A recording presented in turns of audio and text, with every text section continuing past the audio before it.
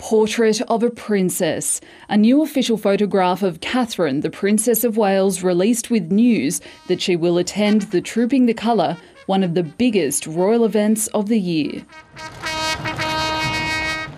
The news welcomed with relief, marking the princess's first official appearance in six months. In January, When rumours about her absence started to swirl earlier this year, the princess silenced speculation with a video message. The surgery was successful.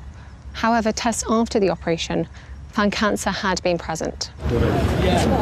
When Prince William was in the Scilly Isles last month, the first inkling his wife was on the mend.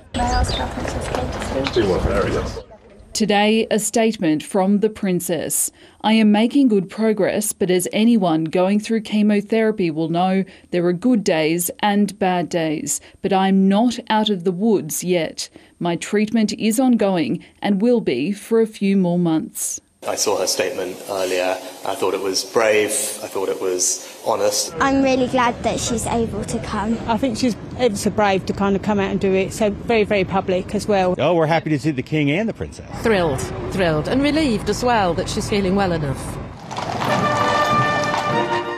Trooping the Colour just a year ago showed King Charles and Princess Catherine unaware of the cancer challenges they would both face within seven months.